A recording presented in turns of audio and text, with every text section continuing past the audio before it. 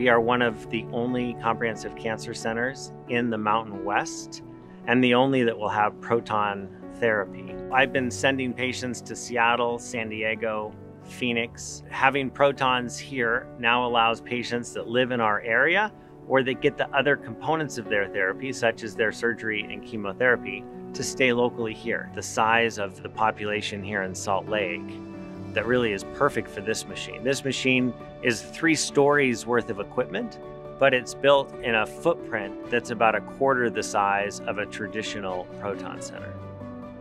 Protons are unique in that unlike our typical beam of photons that passes entirely through the patient, depositing energy uh, on the way in, reaching the tumor, and then out of the patient, protons stop inside the patient. They have a specific range and they go to a specific depth. So by intelligently selecting the energy of the beam that we use, we can cause the beam and therefore the majority of the damage to occur inside the tumor.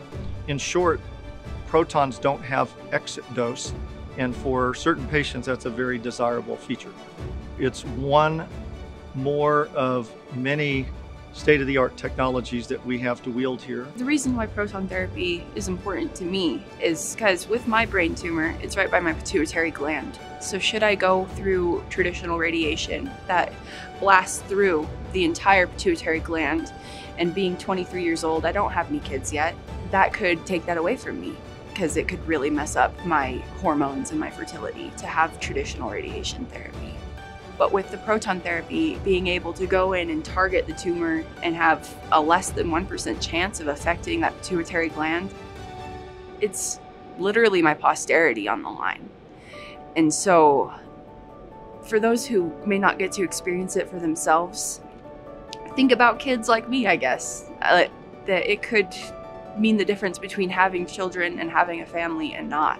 What I can say about Senator Hatch's involvement is everyone here is aware of the critical role that he played in helping move all of the pieces into place that brought protons here. So having friend of the Huntsman in such an influential position, I'm, I know made a difference in getting this technology here. During the days when we needed to get the, the federal funding and the company was struggling and so forth, Senator Hatch was there. And if my father were here, he'd want to recognize Senator Hatch. People in this state, when you think about cancer, you think of John Huntsman and the Huntsman Institute. So I'm very happy to be part of helping him be recognized for this. John Huntsman was a dear friend, and I really appreciated him and all the good work that he did here in Utah and throughout the world. When he called me in the early 90s and shared his dream with me to build a world-class cancer center, did everything I could to try and see that that became a reality. And of course it did.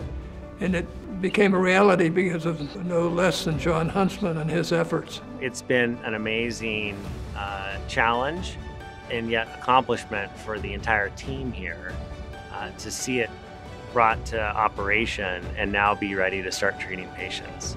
To see the smile on patients' faces when I tell them that this is a treatment that patients used to have to travel 12 hours for, and now they're able to deliver it here, uh, is is pretty amazing, uh, and it just it fills my heart with joy that these patients don't have to pick up and travel.